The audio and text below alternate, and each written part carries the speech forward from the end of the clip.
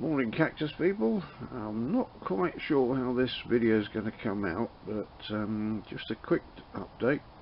These are the mixed cactus seeds we sowed probably about five or six days ago now and it looks like already about six of them have germinated. Uh, kept them nice and warm and I think I've sprayed them once extra to keep them damp uh, but they seem to be going fine. I'll put the light on to see if that helps at all.